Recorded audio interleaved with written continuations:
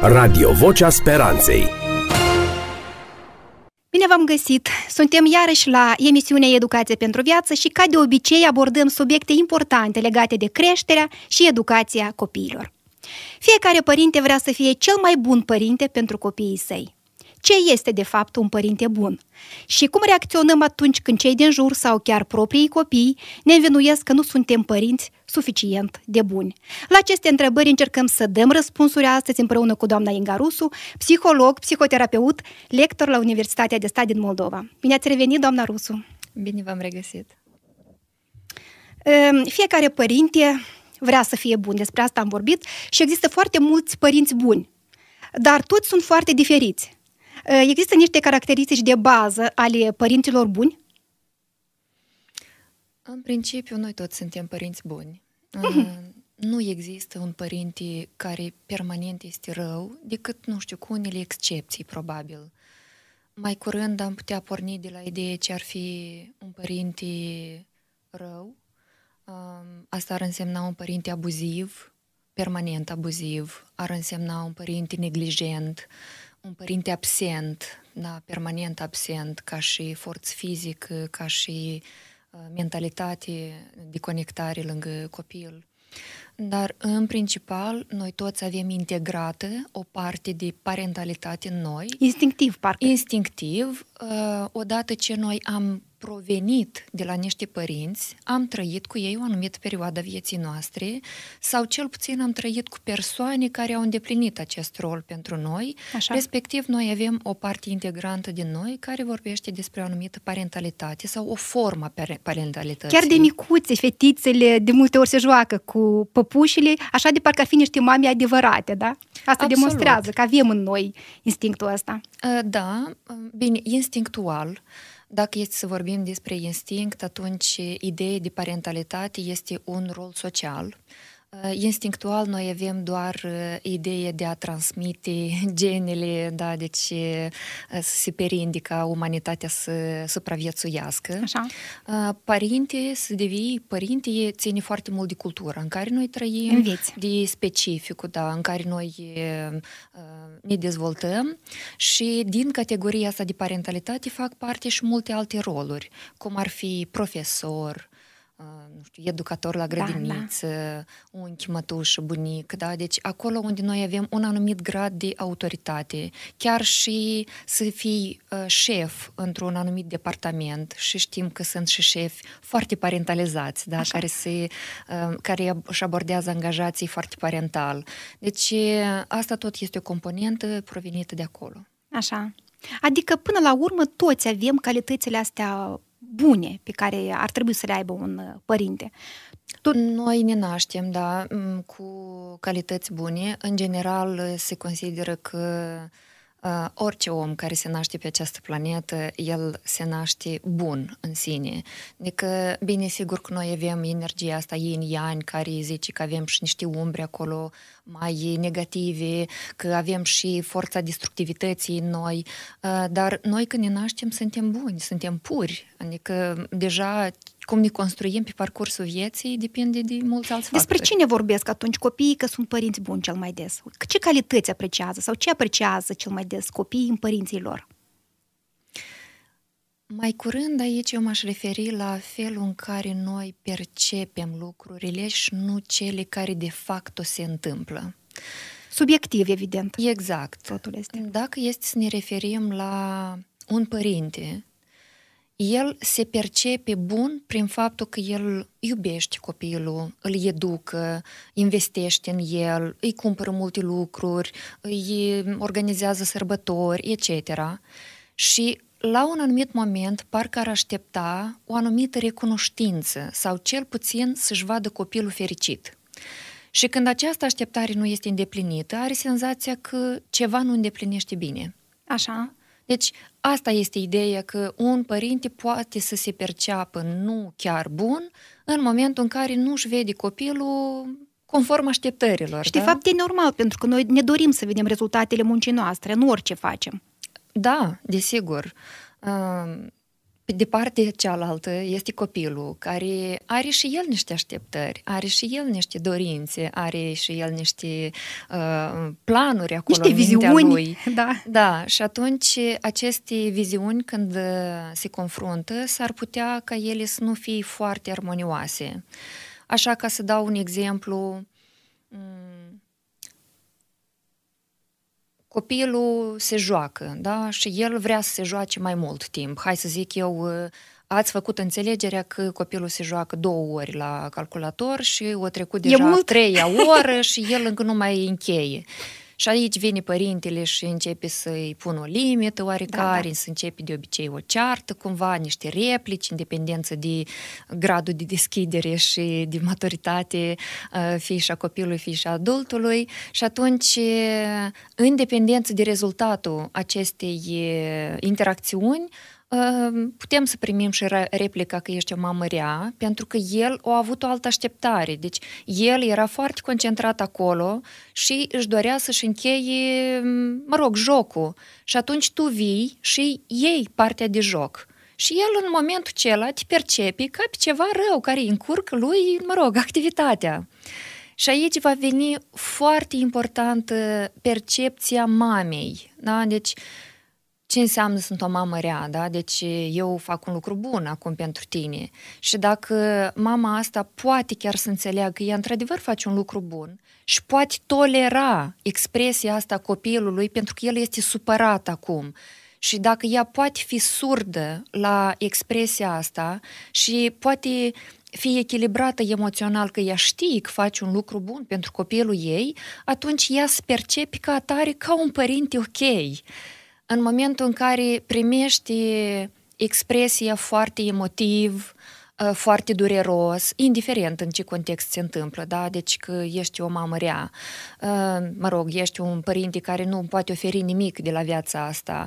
Ă, chiar mi-amintesc acum un caz de la cabinet, așa să, să zic eu, grav, este vorba despre fiica care a crescut cu o mamă singură, da, deci cu părinte singular și cu bunica, bine, trei femei, da, deci într-o da. casă. Um, Clasic. Mama, da, s-a dedicat acestui, acestui copil, ea au ajuns la studii și acum ajunsă la studii zice că vrea mașină, vrea apartament și, în general, ce, ce puteți voi mie da, ca și părinți, da? Deci tu nu te-ai putut realiza nici tu, deci maxim ce ai făcut în viața asta, uh, mai crescut pe mine și mai mult nimic n-ai făcut în viață și ce poți da, ce poți oferi mai departe? Foarte dureroase replici. Sunt foarte dureroase și în momentul ăsta Desigur că mama se simte foarte rău. Da, bine, cunosc cazul că mama a venit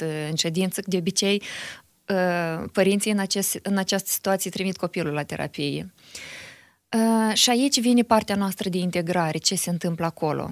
Cu siguranță, contextul în care este acum fata asta, cumva o face să se simtă altfel vrea mai mult, să zicem așa, și este foarte frustrată da? de faptul că, nu știu, alți colegi poate au mașină. Din câte am înțeles, acolo este un element care foarte bine clarifică lucrurile. S-a îndrăgostit de cineva și cumva stima ei de sine... Nu e suficient de bună, da, pentru acea da, persoană. vrea cumva. să fie un pic mai, da, să...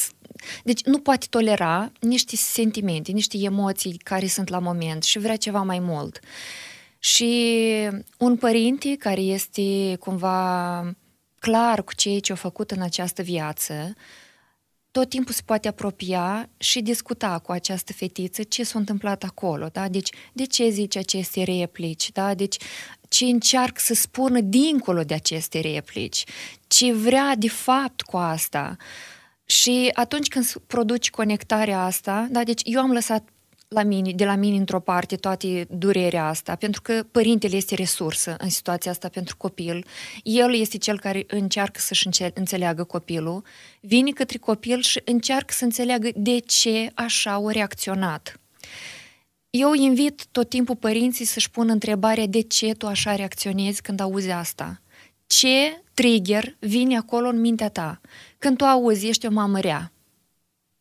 Ce sună la tine? Nu sunt bun, n-am făcut ceva, uh, sunt greșit, sunt defect. Și mai ales când vine de la copilul tău. Și mai ales când vine de la copilul tău, în care noi zicem că eu investesc, eu fac mult pentru copilul meu, eu îl, inve- îl iubesc și așa mai departe. Deci cum poate să spună lucrurile astea? Bine, un copil când vine să zică lucrurile astea, noi trebuie să descifrăm asta ca lui nu-i convine ceva ce se întâmplă acolo la moment. Nu-i convine. Și atunci eu îmi pun întrebare, de ce eu așa reacționez?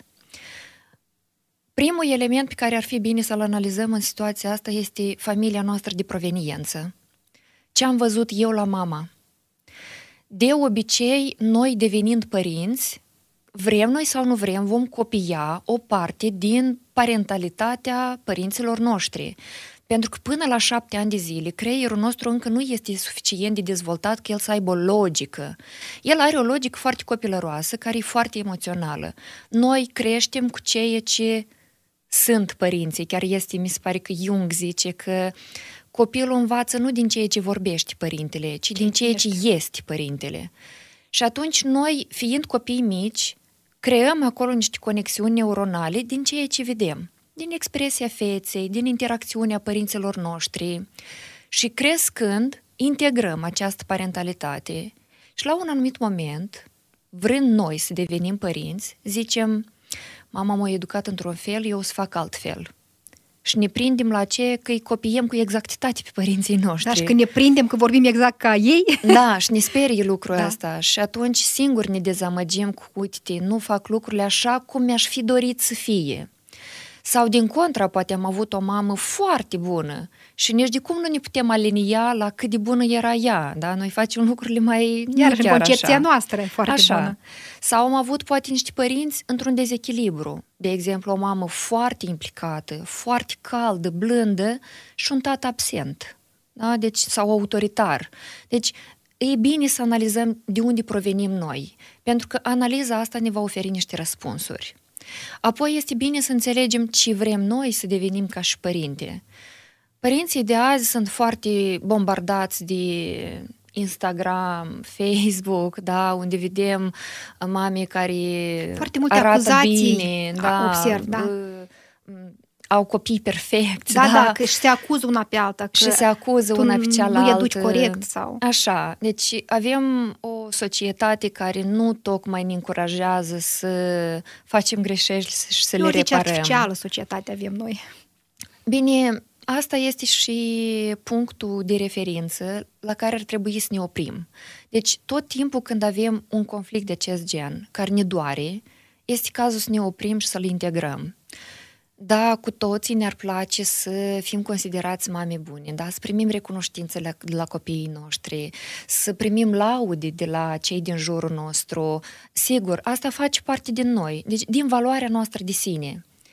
Dar cu toate astea mai avem și alte părți, unde noi greșim, unde nu le știm pe toate și este bine în momentul acela să ne oprim și să integrăm și acea parte din noi. Deci în momentul în care mie copilul îmi zice ești o mamă rea, este bine să stau și să tolerez și acest element. Că am o parte care nu-i tocmai ideală sau cel puțin în percepția copilului meu, la momentul ăsta, eu sunt o mamă rea. Mie foarte mult îmi place exemplu cu medicamentele. Dacă tu știi că medicamentul care îl dai copilului o să-l ajute, și pe de altă parte copilul nu-i place că medicamentul este amar, nu-i bun la gust, îl faci nefericit, că tu trebuie să insiști să-i dai medicamentul, oare nu o să îl dai? Ori nu o să accepti ca în momentul acela să fii considerat o mamă rea, dar să știi că preparatul ăsta o să-i facă bine copilului? Da, e vorba de limită și disciplină în cazul ăsta. Da, care de multe ori nu atunci este chiar cea mai problemele plăcută. cu, li, da. cu mama bună, mama rea, atunci când încercăm să punem niște limite. Că, nu știu, să stea mai puțin pe jocuri, să mănânci ce trebuie, da, nu știu, când îl vezi că deja, nu știu, uh, o luat uh, a cincea ciocolată și știi că o să-i facă rău, desigur că o să intervii să-i pui o limită și în momentul acela s-ar putea să fie o mamă rea. Da? Sau uh, povestea tot o mămică că ea își crește singură, așa cum ai menționat uh, fetița, și ea zice că eu încerc să o fac să nu simtă că eu sunt mamă singură. Îi dă tot ce vrea. Uh-huh. Și atât când ajunge în asemenea momente, evident că fata ei va zice, mamă, eu vreau asta, dar mama nu va putea să-i dea mașină sau apartament de care își dorește ea. Adică da. e greșeala noastră de multe ori ca părinți, că vrem să oferim mai mult decât putem. În situația asta mi-amintesc de relația fratelui meu cu copiii lui. Eu am un frate extraordinar care e foarte pământesc. Eu sunt în familie cu știința, cu cititul, cu mers pe la cursuri, cu terapiile, dar el e foarte așa clar. Și când vine fetița lui, fetița lui are 8 ani și zice, tata vreau iPhone 12 sau nu vreau nimic, nimic de ziua mea. Unicul lucru care vreau să mi-l luați este un cățeluș sau un iepuraș. nimic? În rest, nimic nu vreau să-mi faceți sărbătoare sau ceva de genul. La care fratele meu așa se uită, zice, uite să ne înțelegem într-un lucru. iPhone nu o să-ți cumpăr, pentru că e foarte scump. Ca să înțelegi cât costă un iPhone, asta ar fi 20.000 de înghețate sau nu mai știu ce eu zis acolo.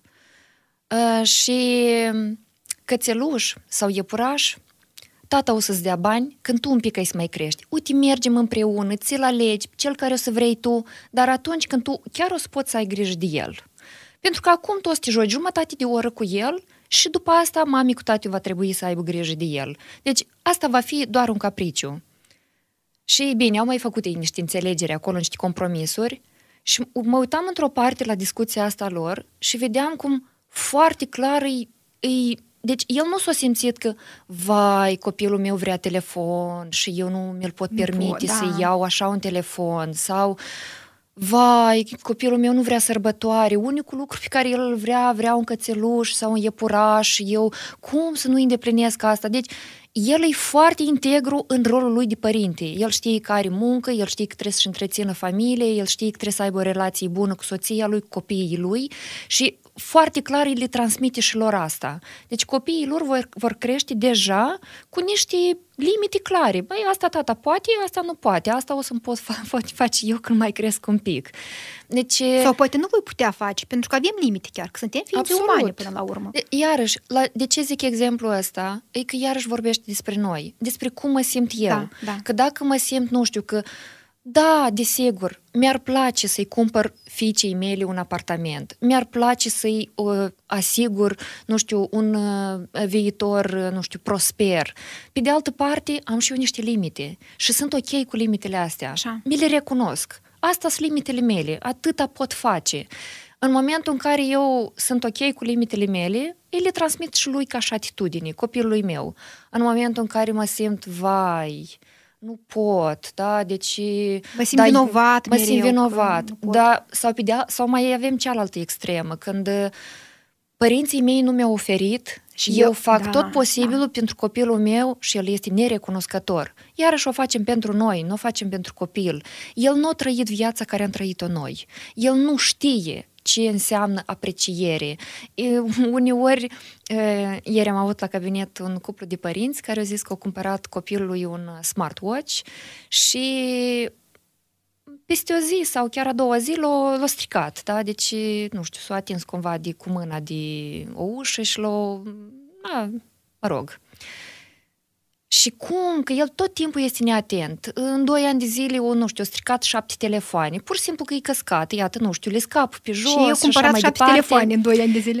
Bine, acolo erau niște chestii din astea așa, simpluțe, că și ele se mai stricau, că erau așa, nu vroiau să-l mă rog, să-l înveți cu telefoane scumpe.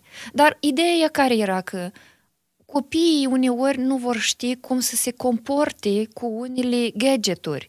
Da, noi dăm bani mulți și dacă și pentru noi sunt mulți banii ăștia, știți, eu am familii care cu ușurință vor da 500 de euro copilului la ziua lui și nu contează cum el îi va cheltui.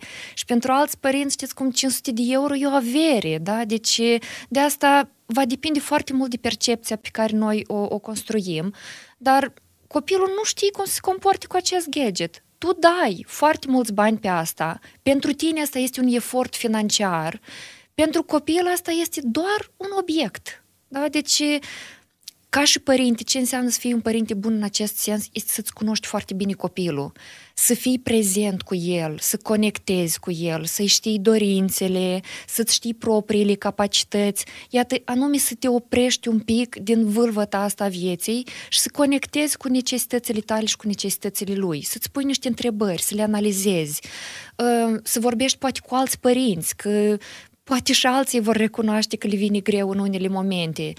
Și în momentul acela vei ști ce soluție este cea mai potrivită. Nu există soluții universale, cu uite, așa trebuie să faci și asta te asigură, dar o soluție probabil una dintre soluțiile universale care ele totuși există este să ai un contact și o conectare cu copilul tău. Să nu încerci să con- compensezi timpul copilul cu gadgeturi, pentru că el într-o zi îți va zice că nu-i, nu-i ceea ce mi-am dorit în viața și asta. se va simți iubit, pentru că inconștient copilul nu primește ceea ce, ce își dorește.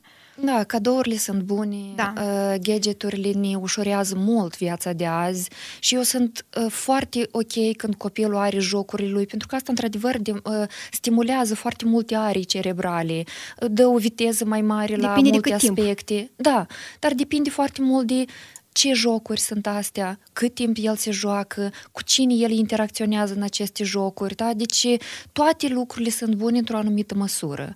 Mm, ca și mierea, da? Adică mierea este un produs perfect, dar dacă e prea mult, el ne va Îți face încurca. rău. Da. Mm, Pe de altă parte, iarăși, să ne uităm la copil. Deci, ce, cine este el ca personalitate? Să nu suprapunem viața noastră. Uh, Tot Jung zicea că mm, cel mai destructiv element pentru copil este viața netrăită a părintelui lui. Pentru că asta va pune o presiune enormă pe copil. Când îi spui copilului, tu ești sensul vieții mele, copilul ăsta nu are dreptul la greșeală. El, misiunea lui în viața asta este să-și facă părintele fericit.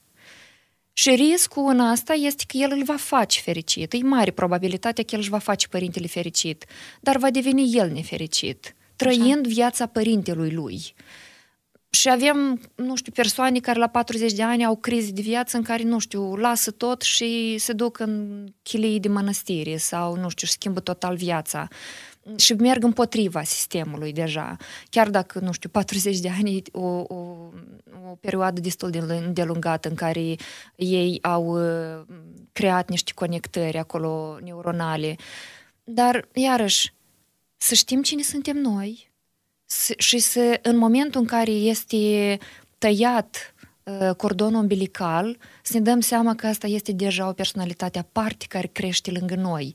Noi suntem doar ghid. El nu ne este dator cu nimic. Noi suntem datori în a-l ghida în această viață. Cât de bine putem. Cât de bine. Și asta chiar este proiectul cel mai mare din viața noastră în care trebuie să investim foarte mult. Noi avem senzația că copilul, dacă are deja 12 ani, el cumva crește singur, da? Sau cumva eu am muncă, am ce, ce, realizări și o grămadă de chestii care trebuie să le fac și copilul crește cumva, eu doar sunt părintele lui. Nu, asta înseamnă foarte multă dedicație.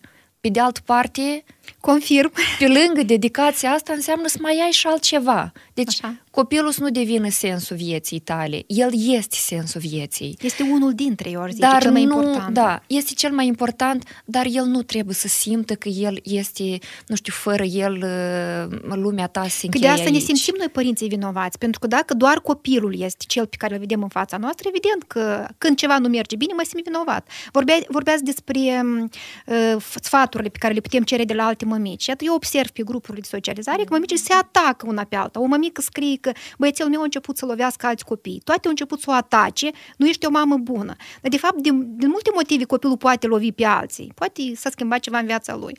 Iată cum reacționăm noi ca părinți la atacurile astea din exterior, că tot ne simțim uneori vinovați. Da, uh, îmi plac și mie asemenea Conversații. Da, mă inspir uneori în uh, ideea cum să nu faci.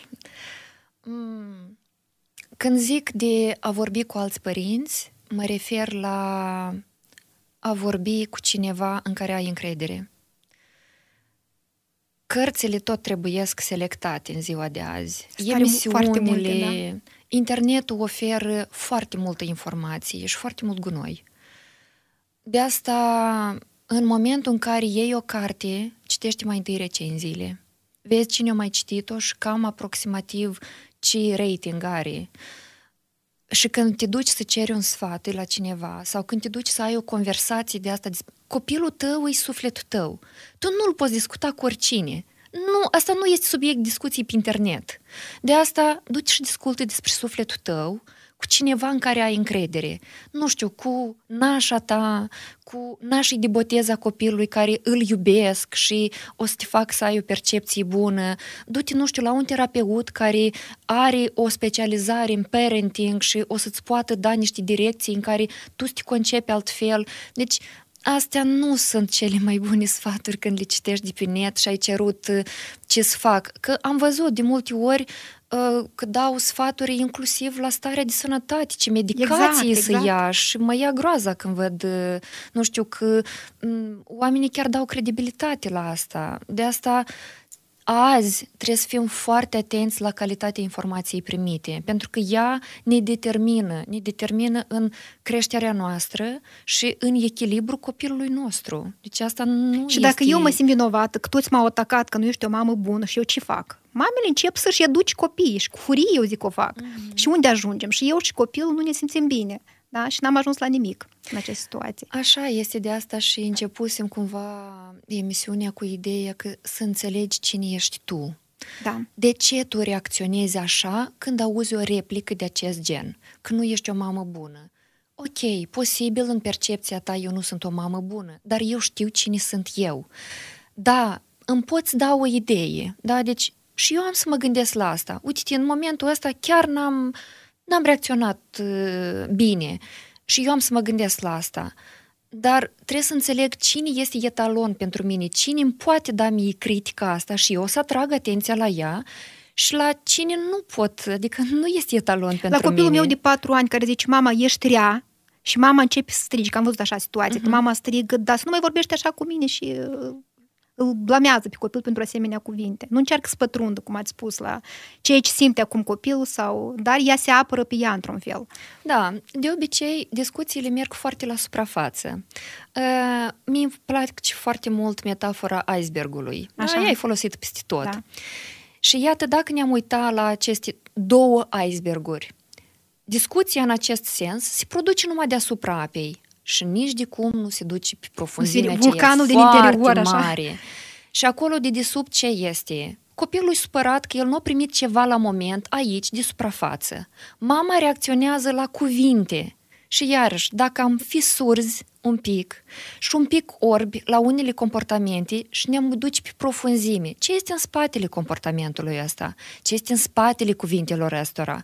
Lui nu-i convine ceva acum ce anume, dacă eu pot tolera asta și eu înțeleg că decizia mea este una corectă, înseamnă că eu pot integra, ok, da, în momentul ăsta înțeleg percepția copilului meu despre mine că sunt o mamă rea. E ok, eu pot trăi cu asta. În schimb, eu știu că rezultatul spre care duc e unul sigur de securitate pentru copilul meu, de relația mea Așa cu el. Este. De asta, ce cred eu? Și e, e bine să tolerăm în noi și partea bună și partea rea. Um, este povestea fata babii și fata moșneagului. Și toți se uită la fata moșneagului, că e bună, harnică, cu minte, blajină. Perfectă. Și este, e perfectă. Și este partea rea, hapsână, zgârcită, leneșă. Păi, cum o să vă uitați la aceea că noi le avem pe amândouă? Deci nu e vorba despre o fată a babei și o fată a moșneagului. E vorba despre aceeași persoană, care are în ea integrată și partea aceea că uneori ești leneș, uneori ești invidios, uneori ești zgârcit, uneori ai o hapsânie de asta așa de uh, ceva acolo în interiorul tău care uh, te, te, te macină și ai partea bună, când ești blând, cu minte, cald și așa mai departe. Uh, e important să le tolerăm și să înțelegem cum le manageriem, dar le avem. Le avem și e important că dacă ce are foarte mult persistă, să ne întrebăm de ce persistă. Pentru că s-ar putea ca în viața mea ceva să nu meargă normal și și eu, ca adult, pot cumva soluționa mm. problema respectivă. Aș vrea la sfârșit de emisiune, că zboară timpul foarte repede, să le dați o ultimă recomandare scuze, părinților care vor să fie niște părinți buni pentru copiilor. Să se iubească pe ei? Da. Să se iubească în rolul lor de părinte. Să știe că deja sunt un părinte bun. Suficient de bun. Să știe că a greși este omenește. Și noi toți facem greșeli.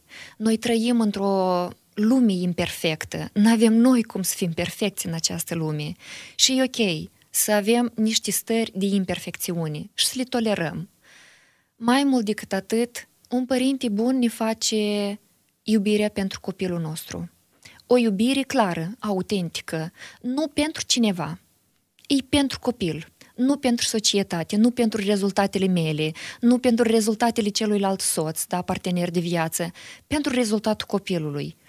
Asta vreau să văd eu cum va deveni el ca persoană, nu știu, în 20, în 30 de ani înainte. Pentru că cei ce torn eu acum va da rezultat mai târziu, dar pornește de la mine, pentru că ca eu să torn ceva bun, eu trebuie să am bunul ăla în mine. Așa este. Vă mulțumim foarte mult și vă mai așteptăm cu drag la noi. Mulțumesc! Dragi ascultători, vă mulțumesc că ne sunteți alături. Vă reamintim, dacă aveți întrebări, sugestii, ne puteți scrie pe pagina noastră de Facebook Educație pentru Viață la Radio Vocea Speranței Moldova sau la adresa electronică contactarond Pe curând!